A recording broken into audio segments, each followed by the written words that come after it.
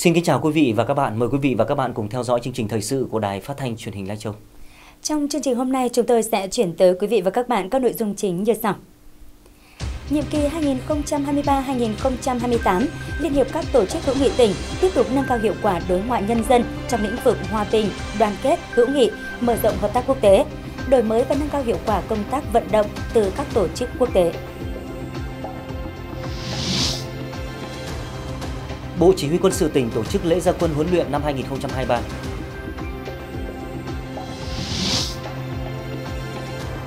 Những kết quả trong thực hiện học tập và làm theo tư tưởng, đạo đức, phong cách Hồ Chí Minh của ngành giáo dục thành phố đã tạo đà để ngành tiếp tục hoàn thành tốt nhiệm vụ năm học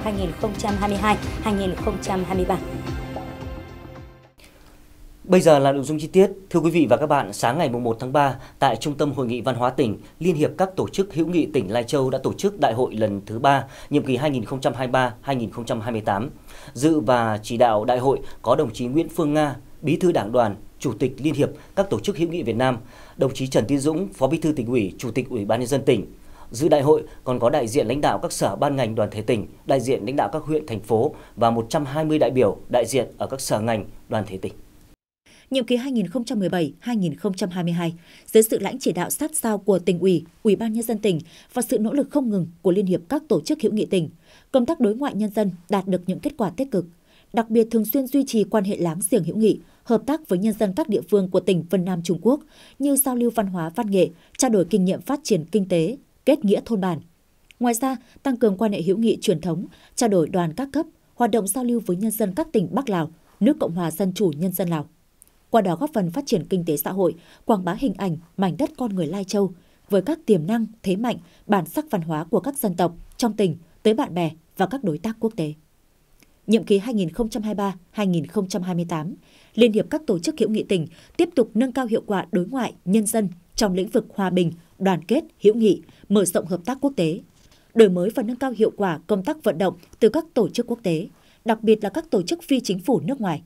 thực hiện tốt công tác thông tin đối ngoại, phát triển tổ chức liên hiệp hữu nghị vững mạnh. Phát biểu chỉ đạo đại hội, đồng chí Nguyễn Phương Nga, Bí thư Đảng đoàn, Chủ tịch Liên hiệp các tổ chức hữu nghị Việt Nam,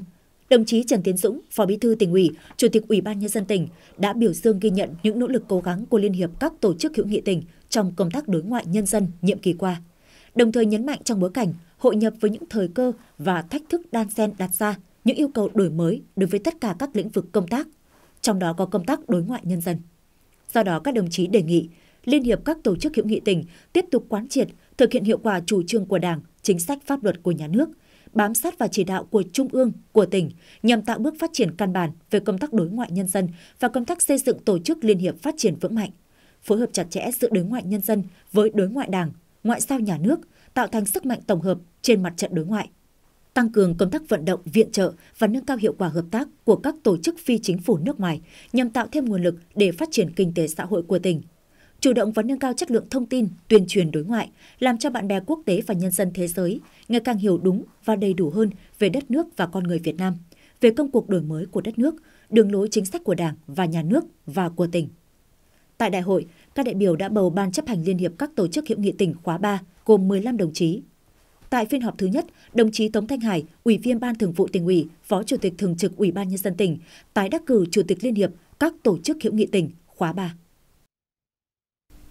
Sáng ngày 1 tháng 3, Bộ Chỉ huy quân sự tỉnh Lai Châu tổ chức lễ gia quân huấn luyện năm 2023 và phát động đợt thi đua cao điểm kỷ niệm 75 năm ngày Chủ tịch Hồ Chí Minh ra lời kêu gọi thi đua ái quốc 11 tháng 6 1948, 11 tháng 6 2023. Dự và chỉ đạo có đồng chí Chu Lê Trinh, Ủy viên Ban Thường vụ tỉnh ủy, Phó Chủ tịch Hội đồng Nhân dân tỉnh Lai Châu, Đại tá Hán Đức Nhu, Chỉ huy trưởng Bộ Chỉ huy quân sự tỉnh, Đại tá Thảo A Pinh, Chính ủy Bộ Chỉ huy quân sự tỉnh Lai Châu,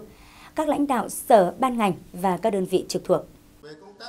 Triển khai thực hiện tốt nghị quyết của Quân ủy Trung ương về nâng cao chất lượng huấn luyện giai đoạn 2023-2030 và những năm tiếp theo, Bộ Chỉ huy quân sự tỉnh đã thực hiện gia quân huấn luyện năm 2023 với mục tiêu tổ chức huấn luyện đảm bảo 100% quân số, 100% cán bộ huấn luyện được theo phân cấp,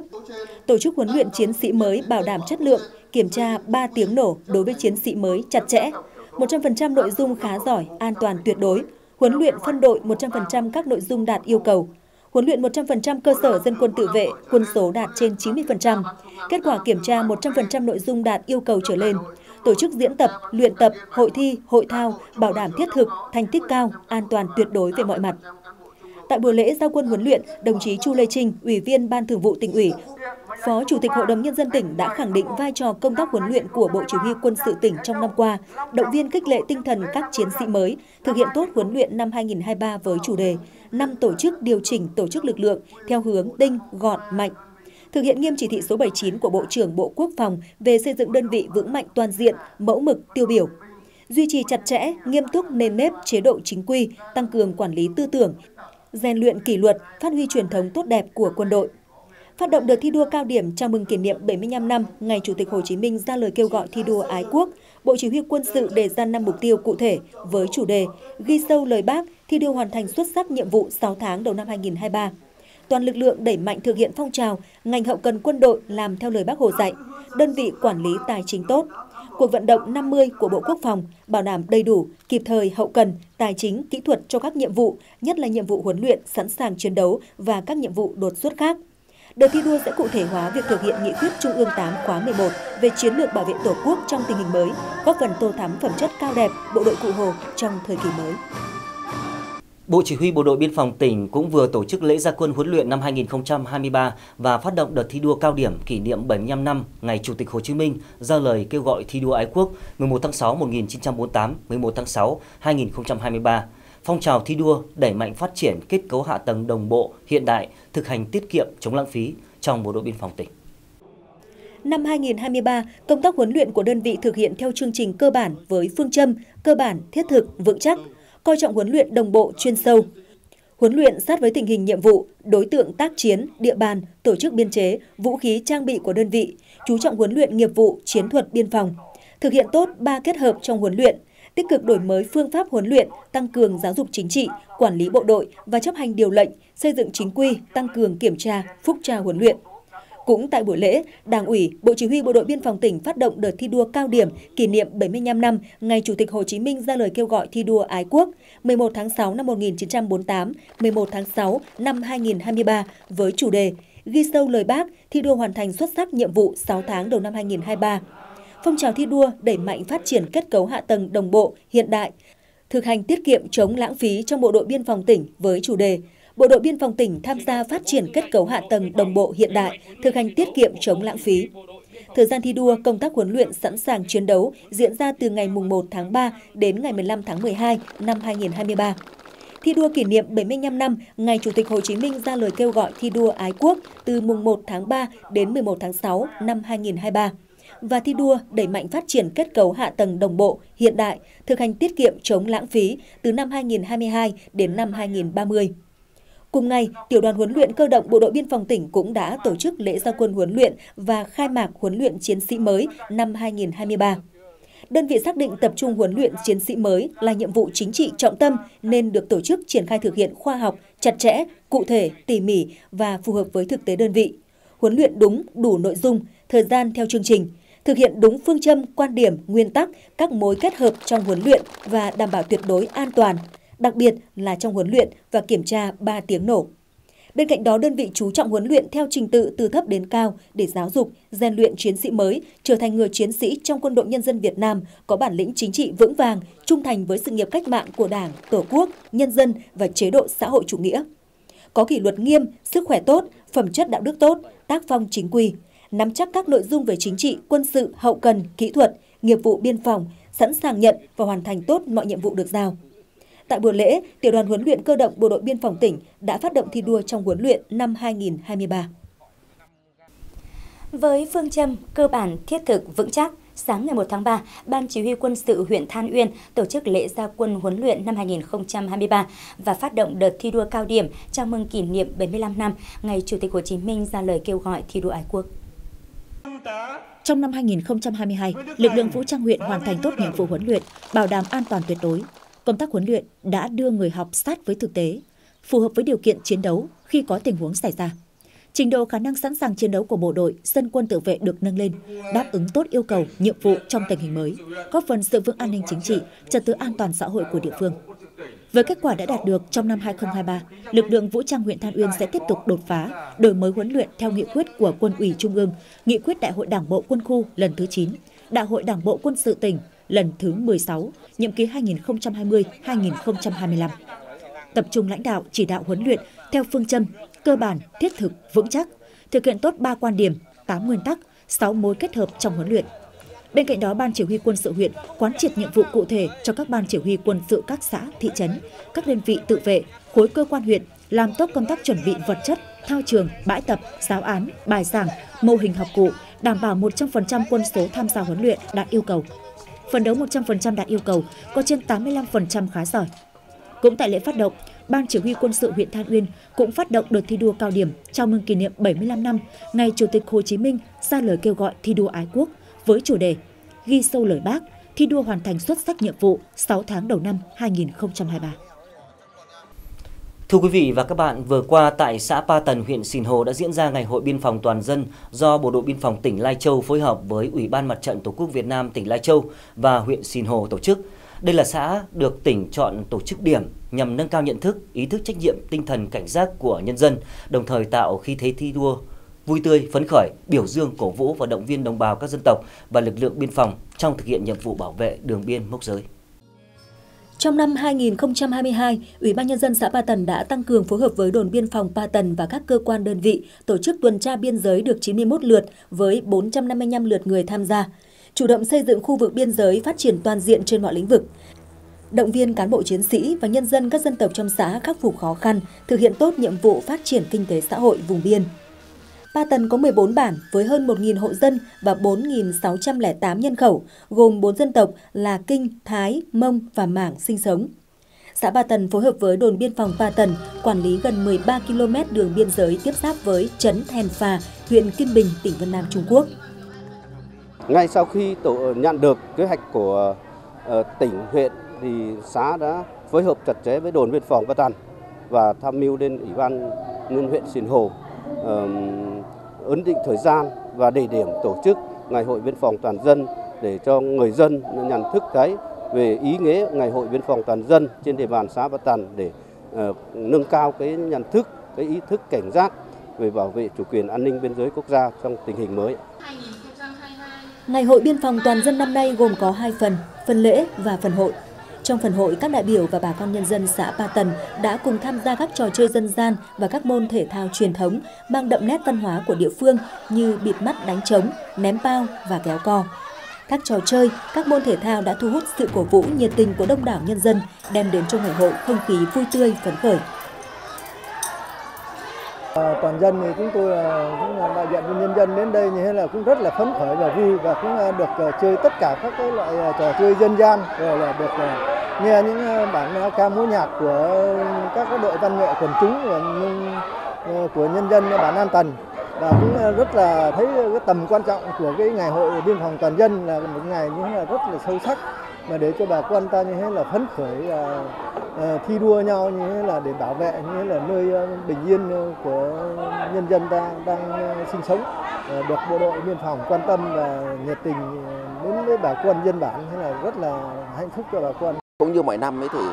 à, chương trình ngày hội thì có hai phần. Thứ nhất là phần lễ. Cái phần lễ thì à, bao gồm là à, có cái báo cáo cái kết quả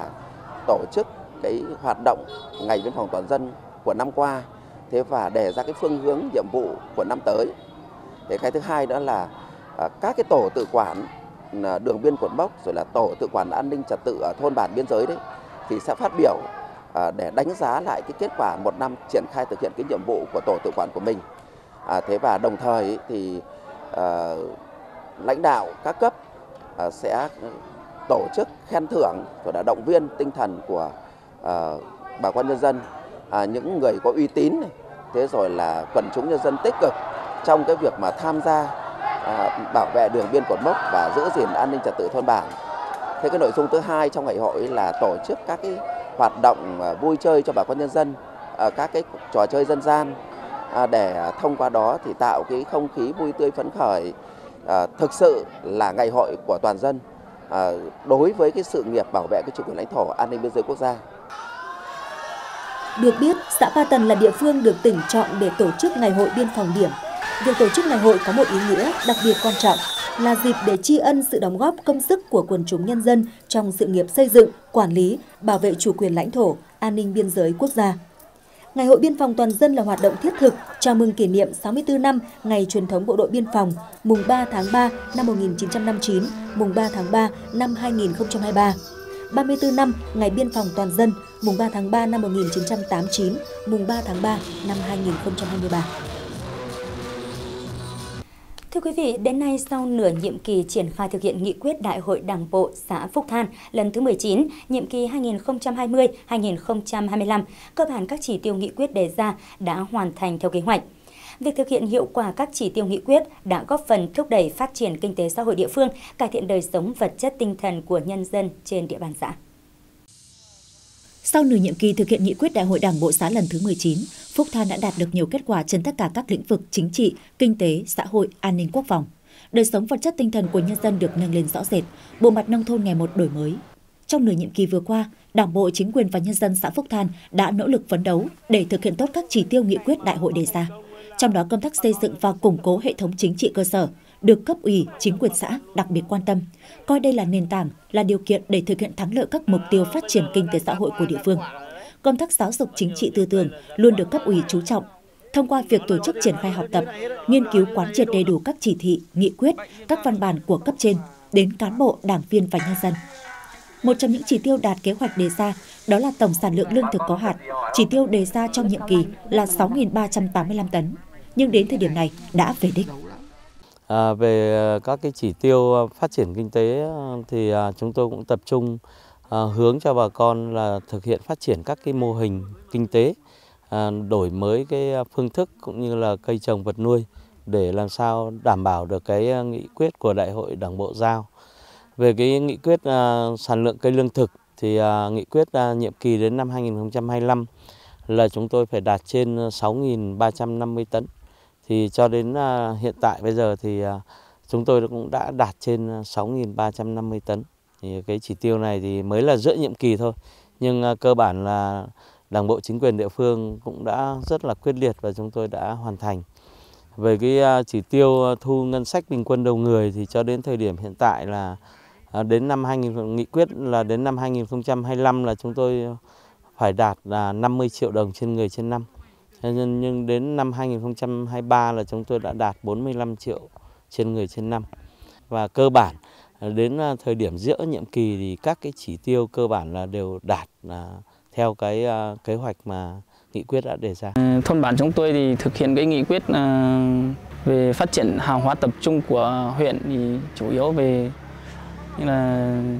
chăn nuôi và tuyên truyền về bà con về ờ, con giống như là chọn giống tốt và ờ, con giống như là về chất lượng cao. Cây lúa thì bây giờ bà con triển khai bà con là trồng cây lúa ờ, uh, G02 là cái giống này là triển khai cho bà con trồng là rất năm suốt nên là vừa là cái sản lượng thu vào thì cũng có giá nên bà con uh, cũng ờ, hăng hái và trồng nhiều cái giống lúa uh, G02 ạ. Bên cạnh chỉ tiêu tổng sản lượng lương thực có hạt đã đạt kế hoạch đề ra, thì các chỉ tiêu còn lại như thu ngân sách địa phương, thu nhập bình quân đầu người, tỷ lệ tăng đàn gia súc, giảm tỷ lệ hộ nghèo đều đạt từ 80% trở lên. Thực hiện nghị quyết đại hội đảng bộ lần thứ 19 nhiệm kỳ 2020-2025 thì ờ, đến thời điểm hiện tại thì ờ, có 9 chỉ tiêu nghị quyết thì cơ bản là đã đạt ờ, trên 50% của nghị quyết. Cơ bản là đạt về cái thu nhập bình quân của đầu người năm 2022 là được 42 triệu và dự kiến của năm 2023 sẽ đạt 45 triệu trên người, trên năm cuối năm 2023. Các chỉ tiêu phát triển kinh tế cơ bản là sẽ sẽ sẽ đạt về những cái khó khăn của chỉ tiêu nghị quyết thì về công tác kết nạp đảng viên và cái tạo nguồn là rất là khó vì không không có nguồn để à, bồi dưỡng. Cái à, chỉ tiêu nghị quyết đề ra là 60 à, quần chúng kết nạp vào đảng trong cái cái nhiệm kỳ này. Nhưng mà thường chủ yếu là mới kết nạp được 8 đến 9 thôi cơ bản là 8 quần chúng kết nạp vào đảng thì như vậy tính ra thì mới là 66,6% quần chúng kết nạp vào đảng những thành tựu mà Đảng bộ, chính quyền và nhân dân xã Phúc Than đạt được trong 2 năm qua là rất lớn. Nhưng điều quan trọng nhất chính là những kinh nghiệm trong lãnh đạo, chỉ đạo, điều hành được đúc kết. Những chủ trương giải pháp đúng đắn, hợp lòng dân đã phát huy được tiềm năng nội lực của địa phương. Và đặc biệt là tạo được lòng tin, sự hài lòng của nhân dân đối với Đảng bộ, chính quyền cơ sở. Đó là nền tảng vững chắc, là điều kiện động lực để Đảng bộ, chính quyền và nhân dân xã Phúc Than tiếp tục tiến bước trong nửa nhiệm kỳ tới và sẽ có những bước phát triển mới, góp phần thực hiện thắng lợi mục tiêu nghị quyết Đại hội Đảng bộ xã lần thứ 19 và nghị quyết Đại hội Đảng bộ các cấp đã đề ra. Từng bước đưa Phúc Than ngày càng phát triển bền vững. Thưa quý vị và các bạn, nhiều năm qua, ngành giáo dục và đào tạo thành phố Lai Châu luôn nỗ lực thực hiện lời dạy của Bác Hồ kính yêu. Dù khó khăn đến đâu cũng phải tiếp tục thi đua dạy tốt học tốt, không ngừng đổi mới về mọi mặt, góp phần thực hiện hiệu quả mục tiêu nâng cao dân trí, đào tạo nguồn nhân lực, Bên cạnh đó, thực hiện chỉ thị số 05 của Bộ Chính trị về đẩy mạnh học tập và làm theo tư tưởng, đạo đức, phong cách Hồ Chí Minh, các đơn vị trường trên địa bàn đã có nhiều đổi mới sáng tạo trong dạy và học. Qua đó tạo sự chuyển biến mạnh mẽ về thi đua dạy tốt học tốt, nhân rộng các điển hình tiên tiến trong học tập và làm theo bác, góp phần thúc đẩy sự nghiệp giáo dục và đào tạo của địa phương triển khai học tập và làm theo tư tưởng đạo đức phong cách Hồ Chí Minh, Hàng tháng, cấp ủy tri bộ trường tiểu học Quyết Tiến thành phố Lai Châu đều đưa các nội dung học tập và làm theo bác vào sinh hoạt tri bộ gắn với nhiệm vụ chuyên môn và các phong trào thi đua của ngành. Qua đó, mỗi cán bộ giáo viên luôn nêu cao tinh thần tiên phong gương mẫu trong thực hiện nhiệm vụ, không ngừng tự học, tự bồi dưỡng, nâng cao trình độ chuyên môn nghiệp vụ, tích cực đổi mới phương pháp giảng dạy với nhiều sáng kiến kinh nghiệm, nghiên cứu khoa học, ứng dụng vào thực tế đạt hiệu quả. Thì à, bản thân tôi cũng không ngừng nỗ lực học tập và nâng cao cái nghiệp vụ chuyên môn của mình. Ờ, đặc biệt là trong công tác giảng dạy thì ờ, luôn học hỏi và tìm ra những phương pháp, hình thức ờ, dạy học phù hợp với các đối tượng học sinh trong lớp để học sinh tiếp thu được kiến thức một cách tốt nhất. Và trong những năm học qua thì nhờ sự nỗ lực, cố gắng của bản thân thì bản thân tôi cũng đã đạt được giáo viên dạy giỏi cấp tỉnh năm học 2021-2022. Những năm học vừa qua, Phòng Giáo dục và Đào tạo thành phố chỉ đạo các trường học triển khai tích hợp giảng dạy các giáo trình, tài liệu về tư tưởng, đạo đức phong cách Hồ Chí Minh trong chương trình chính khóa. Lồng ghép trong giảng dạy các môn học và tổ chức các hoạt động giáo dục ngoài giờ lên lớp, hoạt động đoàn, đội. Bên cạnh đó, nhiều trường cũng triển khai thực hiện lời bác dạy với nhiều phương thức phong phú, sáng tạo, gắn với phong trào thiếu nhi làm nghìn việc tốt. Tổ chức thi kể chuyện, thi vẽ tranh về Bác Hồ, giữ gìn, bảo tồn và phát huy bản sắc dân tộc. Thì với mong muốn của câu lạc bộ là à, đầu tiên là mong muốn là các em có thể giữ gìn được cái bản sắc dân tộc của mình. Cái thứ hai là thêm yêu ờ, thêm yêu cái ờ, nét đẹp truyền thống của dân tộc cũng như là của quê hương đất nước. Và cái thứ ba là cũng, ờ, bản thân tôi cũng mong muốn là à, các em học sinh cũng có thể là À, phát triển được cái nghề theo của à, dân tộc mình À, từ đó thì có thể là định hướng nghề nghiệp cho các em à, trong khi mà các em còn ngồi trên ghế nhà trường. Với việc cụ thể hóa và vận dụng khéo léo nội dung học tập và làm theo tư tưởng đạo đức phong cách Hồ Chí Minh vào các phong trào thi đua, chất lượng giáo dục của thành phố luôn được giữ vững và nâng cao. Hết học kỳ 1 vừa qua, toàn ngành có gần 99% học sinh cấp tiểu học xếp loại các môn học hoàn thành trở lên học sinh đạt về mức độ hình thành và phát triển phẩm chất đạt 99,9%. Hơn 73% số học sinh cấp trung học cơ sở đạt học lực khá giỏi và hàng trăm lượt học sinh đạt giải trong các cuộc thi.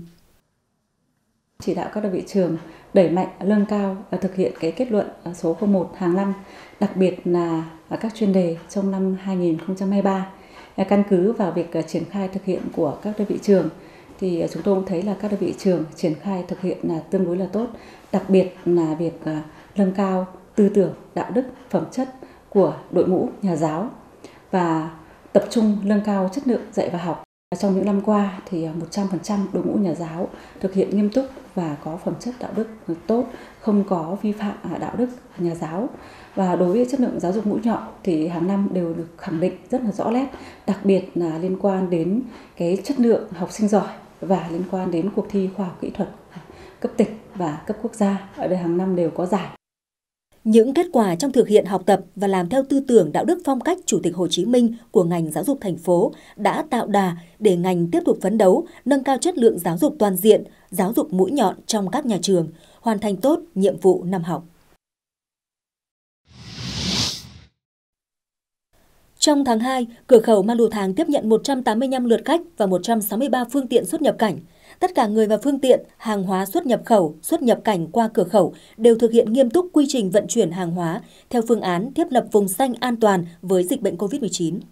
Từ cuối tháng 2 vừa qua, với việc cửa khẩu Ma Lù Thàng thông quan trở lại đã góp phần khôi phục toàn diện hoạt động xuất nhập cảnh nhằm tạo điều kiện thuận lợi cho xuất nhập khẩu hàng hóa, thúc đẩy việc hợp tác phát triển trong lĩnh vực kinh tế và du lịch giữa hai nước – Hiện tại, để tạo điều kiện cho việc xuất nhập khẩu hàng hóa, Ban Quản lý Khu Kinh tế và các lực lượng chức năng tại cửa khẩu sẽ phối hợp tốt với phía bạn, đẩy mạnh cải cách hành chính, kịp thời hỗ trợ, giải quyết các thủ tục hành chính, tạo điều kiện thuận lợi nhất cho người dân và doanh nghiệp trong hoạt động xuất nhập khẩu, xuất nhập cảnh. Đến thời điểm này, toàn huyện Sìn Hồ có trên 56.000 ha diện tích đất có rừng. Đây là địa phương có diện tích rừng tương đối lớn trên địa bàn tỉnh, với diện tích chủ yếu tập trung ở các xã vùng cao của huyện. Hiện nay đã bước vào đầu mùa khô, nguy cơ xảy ra cháy rừng là rất lớn. Chính vì vậy, bên cạnh việc công tác vận động, tuyên truyền nhân dân nâng cao ý thức bảo vệ rừng, đốt nương rẫy đúng quy định, Ủy ban nhân dân huyện Sìn Hồ đã chủ động chỉ đạo các phòng ban chuyên môn, Ủy ban nhân dân các xã thị trấn, đặc biệt là hạt kiểm lâm huyện cần tăng cường cán bộ kiểm lâm địa bàn xuống tuần tra kịp thời, phát hiện các khu vực điểm nóng dễ xảy ra cháy rừng để có biện pháp xử lý kịp thời. Chương trình thời sự của Đài Phát thanh Truyền hình Lai Châu hôm nay xin được kết thúc tại đây. Cảm ơn quý vị và các bạn đã quan tâm theo dõi và xin kính chào và hẹn gặp lại trong các chương trình thời sự sau.